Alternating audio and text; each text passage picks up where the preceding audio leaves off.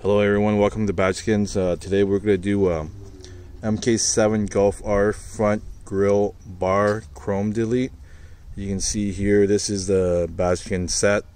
We've already done the other side, so I'm just going to do a quick how-to for this side here, which is pretty well equivalent to being the same as the Mark 7R in the Golf.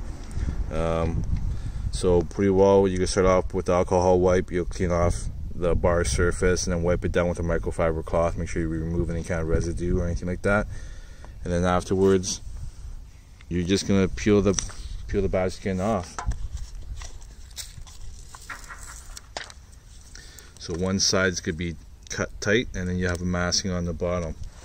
So you just start off by lining the edge, the top edge up as tight as you can, and towards the emblem.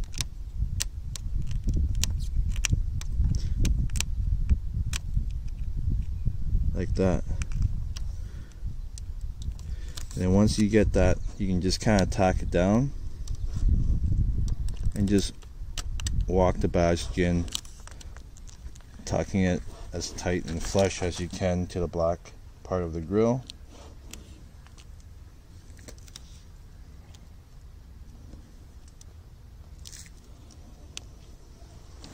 Once you've done that you can start kind of hearing it down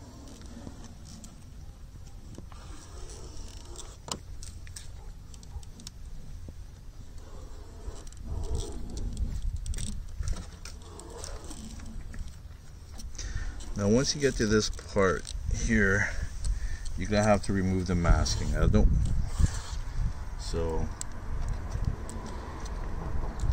make sure you kind of flip it to 180 degrees so it makes it easy to remove. And then you'll peel off at 180 degrees. Once you've done that, you can wrap it all the way around by starting in the middle and just work your way out to the edges. Like that.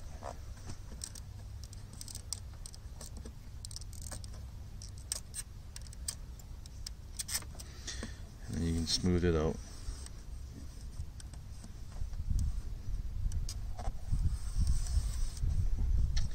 Now here's the part where having a squeegee is helpful if you have one.